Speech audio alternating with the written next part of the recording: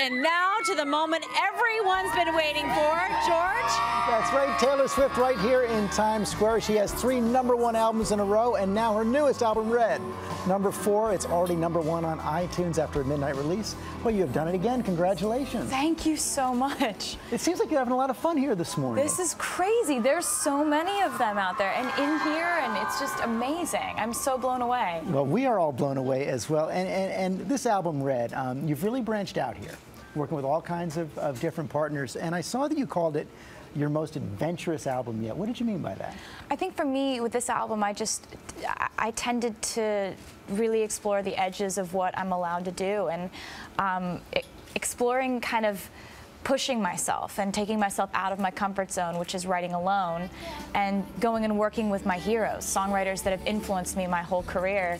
It's it, it really, really kind of challenged me in the best way possible. What's different about writing with someone else? Well, uh, everybody has their own different process. Some people start with like making a track. Some people, like I just grab a guitar and make stuff up. Some people, everybody's got a different way of doing things. And what it felt like was being 22, kind of learning from my absolute heroes and and exploring how they do what they do. And it was really an amazing learning experience. You know i was just telling you my little girl's been walking around the house for weeks singing we are never ever ever getting back together.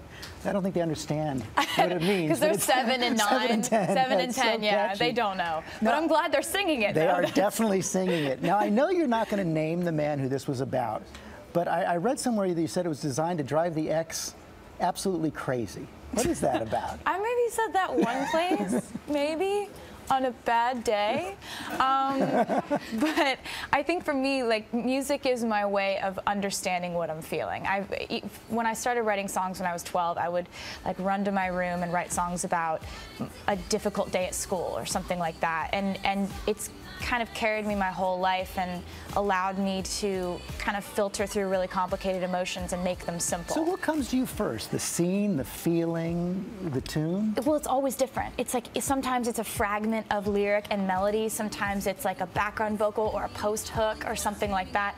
And it's like the it's like getting the first puzzle piece and you have to at that point figure out where it fits in, in the grand scheme of things and, and fill in the rest of the song. We have gotten all kinds of questions coming in for you on Twitter, and one of them comes from the lucky one, 1313, who wanted to know which song on Red was the hardest to write emotionally.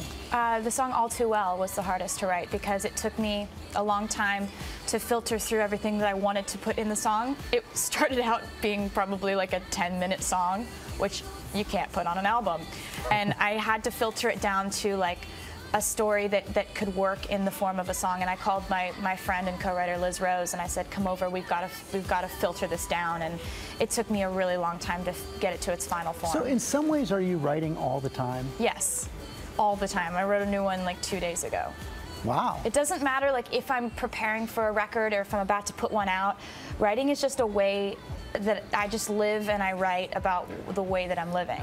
And if you were to write a song about your love life right now, happy song, sad song?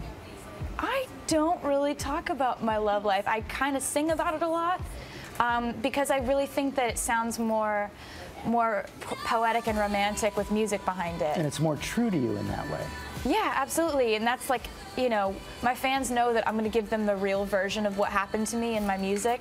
And they know that, you know, what they read on blogs or gossip sites or whatever may or may not be true. And they can kind of tell, like, if it's true or not because they know me. So, what have you learned about, about how to navigate your whole private life in such a public, when you're, when you're living in such a public fishbowl? Look at all the people out here right now. Well, I don't mind any of that at all. I don't really, there's, there's, there's nothing wrong with that.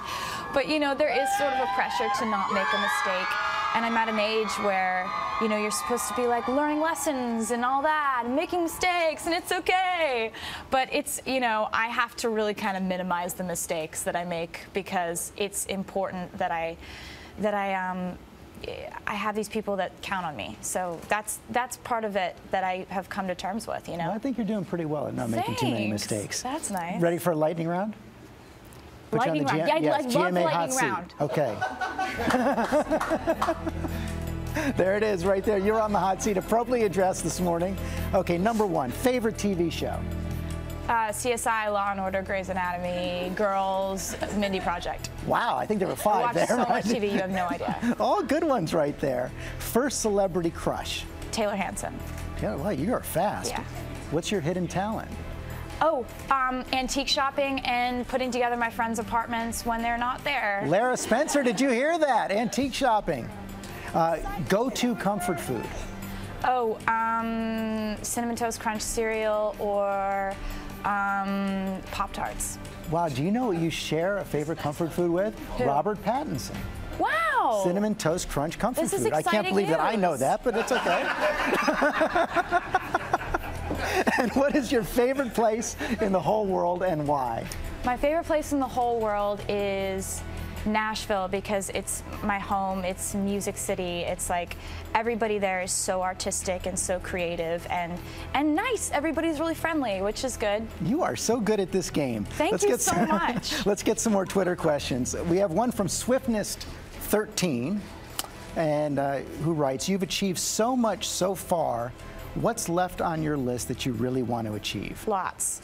Um, I think, you know, for me, I would love to, um, I would love to have this album be something that really I'm proud of and put together the tour and have it be a show that's worth people paying their money and spending the evening with us to, to see it. You know, I, I want to make this show better than anything we've done before. Of all the new kinds of music you tried in this album, which one was the Uh, the most fun or even the most challenging to you? Well, the one that was the most fun was on this song called I Knew You Were Trouble. And I started it out on piano, and I knew that at the end of the chorus, I wanted it to have this crazy bass drop. And so I brought it to my co writers, Max Martin and Johan Shellback, who are amazing. And they were able to. We just like cre- we took this song to places I didn't think that my music would ever go. Your parents have um, have done so much for you, I know, and and they even moved to Nashville many years ago when you wanted to start out singing. And we got another question from Keith Sargent, who wanted to know how your parents are adjusting to your success. They- They're great with it. Um, my dad is like he goes around with all these guitar picks of, from my tour in his pocket and just hands hands them to strangers and is like, "Hey, I'm Taylor Swift's dad. Nice to meet you." and he makes friends everywhere he goes and like loves it. And my dad's like the friendliest guy in the world. And my mom is is really sweet because she. Um, she has a she has really great taste and she has really logical i- i- opinions and so I ask her for advice about everything. We're really close. And finally, Judy Berryhill wants to know what in life brings a smile to your face. oh my God, so much. Um, mostly uh, like cats and um, mostly mostly cats. Mostly cats. Taylor Swift, thank you so much. You are going to be back tomorrow, live performance right here in Times Square. And ahead, we're going to reveal the winner of the Taylor Swift contest, who's also going to be here tomorrow to see her perform.